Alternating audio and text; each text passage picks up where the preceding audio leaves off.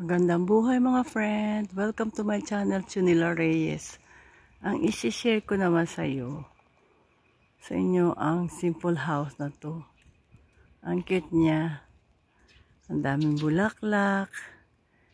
Tapos, yung hagdanan niya, talagang nakapunsoy, oro, plata, mata. Di ba, maliit lang siyang lupa.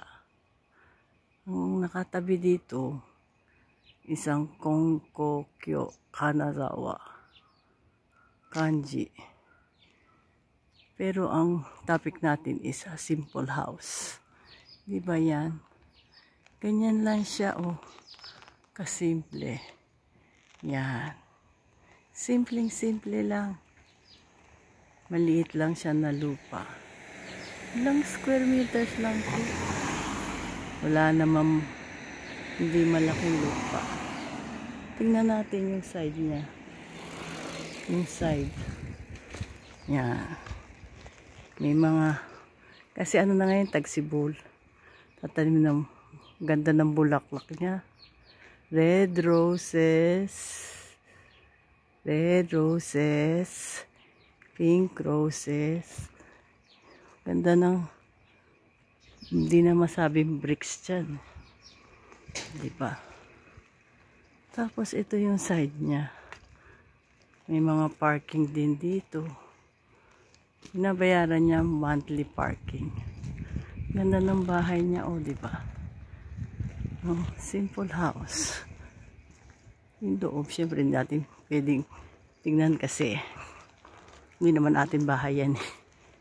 Ito yung likod niya. May pintuan din dito sa likod. Diba? Yan. Yan siya. Ganyan lang siya.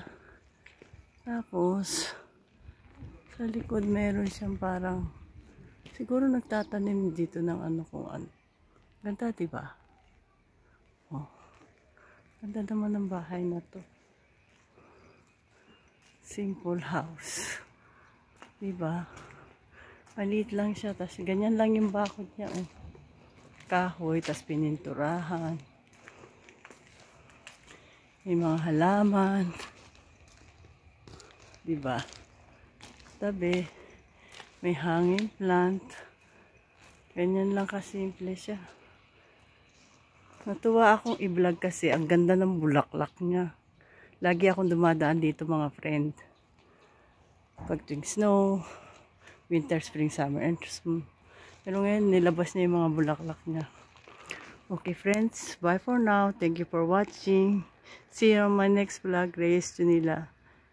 Please like, subscribe my channel. If you want to share it, God bless all of you. Bye for now.